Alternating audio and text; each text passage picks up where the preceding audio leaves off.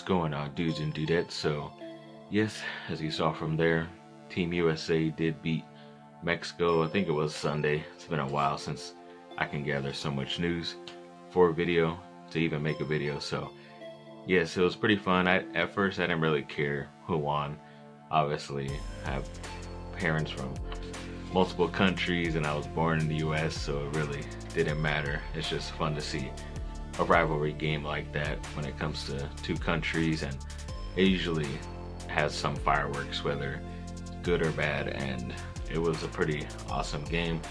It's great that team usa got the victory but i mean they are kind of celebrating a bit too much over something that isn't even the gold cup which is what i've always heard of more than this concacaf smaller thing prior so and I don't, I don't even think they're even maybe in the in the Olympics this year or I'm not 100% sure about that. I know they're probably still trying to fight for a spot in the World Cup next year or the year after, so they definitely have to string up a couple wins. I think they did get their next victory against Costa Rica like 4 to 0, so that was cool to see as well. But hopefully they can keep the momentum going. Christian Pulisic is doing very well. A lot of crazy fans from both sides out there, even though it's played in Colorado. But yes, luckily the rivalry can simmer down for a little bit till the next time. Then the Anaheim Ducks, they had the NHL lottery recently, and they were supposed to be projected, I think, top two overall pick because of how bad their record was, but they're third overall, which still isn't bad. It's higher than last season's lottery, but just sucks that seems like they're always picking in the lottery and they either choose guys that don't play right away or not, but kind of have no excuse now. If you're picking a top three guy, he should be able to play his first year and not be sent down to the minors right before. So hopefully they pick a right guy or maybe trade it for another established guy in the league already. Then there is some news coming out that the college football playoff right now, it's a four team like tournament thing at the end of the season. The, top four teams play, but I've always thought they should progressively make it larger to six and maybe finally stop at eight at some point. But of course, now there's talks that it might just blow up to 12 teams, which to me is a bit too much because now you kind of just allow these top 10 teams to kind of just play cupcake, even more of a cupcake schedule and not get noticed because they already know they can maybe lose once or twice if they're really high up to start the season and still most likely make the playoff playoffs. So it's just weird. I hope it doesn't go that high. It will be interesting. It will be easier for USC to make it, obviously, but I don't know. I, I kind of just don't like it. It's kind of watered down, in my opinion. Then, ex Duke player Seth Curry, the better of the Curry brothers, dropped uh, 30 points, I think, the other day as well on Sunday when they advanced to beat whoever they played. I think it was Washington at the time in the first round. So congrats to him getting that nice point total for a guy who's been off and on this year. Then a Servite wide receiver from Southern California that I've really liked whenever I watch highlights. I kind of watched his team more for the quarterback. They talk about him a lot as being one of the next good guys, not this season coming up, but next year coming out of high school. And I've noticed this his wide receiver because he's always throwing to him. He's a tall, lanky guy, but he's very athletic. Does very good off the off of routes and can get open very easily and does some good stuff. Has some nice speed while he has the ball in his hands. And I know I, I mess up his name, but I believe it's Tetairoa McMillan. I hope I'm saying that right. But yeah, he's a good four star guy. He had his unofficial visit, I think it was last weekend, to USC. A lot of really talented guys came out to USC. So I'm hoping USC can land some of these guys within the next couple years. But yeah, they've been finally getting a lot of big names on campus finally, which is pretty cool. Then, yes, the big news of all.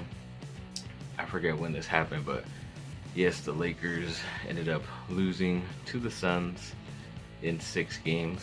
I'm surprised it even went that far with the way they were playing those last couple games, but yeah, overall, it's just injuries.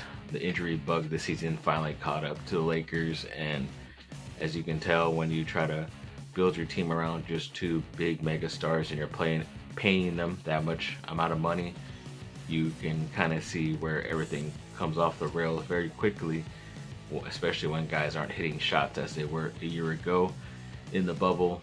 And yeah, so Lakers get bounced. I didn't like how Booker was talking a lot of smack, but I did hear that Schroeder was talking smack as well, which kind of leads me to the next point that, yeah, even Magic Johnson, the great Magic Johnson, ex Laker, said that he doesn't even believe Dennis Schroeder is a real Laker just because of by his play and you know he's always he was always asking for starter level point guard money. Didn't really play like that and he turned down a couple of extensions that the Lakers offered him a bunch of money and he just kept saying he still wants to try out free agency for the first time. So I don't know. It's just he didn't really back up his play. Maybe they'll keep him because they kind of have his rights but I don't know. Maybe it's just to keep him to trade him later in the year but yeah it wasn't a good experiment I think he should be coming off the bench but I don't know if you pay a guy 20 plus million to come off the bench. It's gonna be kind of sucky.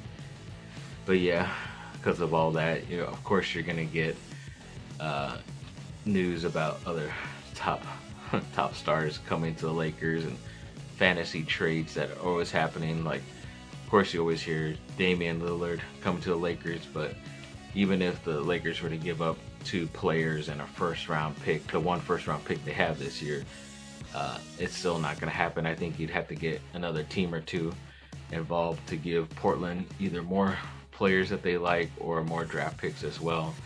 And then that just means the Lakers have to give up more future stuff, which is going to end up hurting them in the long run, I believe. So I don't think you really make that trade. Let him go wherever he wants. There's other players out there that I think they can sign and have a good team around the Lakers, whether they decide to blow up the team or keep most of the key glue guys that I think they should. But of course, I'll do a free agency thing whenever this happens, or if there's not that much news coming out, then I guess I'll just do it now, a couple months in advance, to see who is going to become a free agent. But I think the Lakers should get realistically instead of all these fantasy stuff that people are doing. And he has some miscellaneous news about LeBron. I guess he is changing his number from 23 to number six this season coming up. Um, I guess he couldn't do it last year because it would have cost a lot of money for the NBA. Change out all those jerseys, he would have had to buy all of them, but I guess he doesn't have to this year.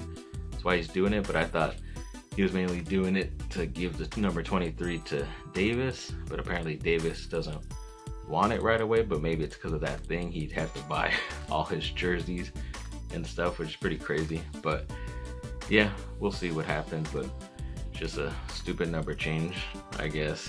And then, yeah, Rob Pelinka, the general manager of Lakers, has been is getting a lot of, uh, I guess, getting released off his leash because he's kind of been having to stay within a certain amount of money when it comes to building a team for the Lakers. But now, according to Jeanie Buss, the majority owner, she says she's willing to pay over the luxury tax, the extra money it is in case they need to sign a couple more guys or certain type of high caliber type of guys as well. So at least we're getting that. And I still can't believe the Lakers are paying Luol Deng, who hasn't been in the league the past couple years, but they stretch out his contract. And I think this season coming up, this offseason is the last time they're going to pay him. I think it's like four or five million. So they'll finally be able to get a player next next next year or some, some something crazy like that. It's just ridiculous how contracts work. But yeah, hopefully everything works out. It's the stuff we're dealing with, and uh, yeah, hopefully some more news comes out. Never know, might see less videos like this, but we'll see. Thanks for watching, people. Like and subscribe, comment down below. Let me know what y'all think. Have a great rest of your day. 拜。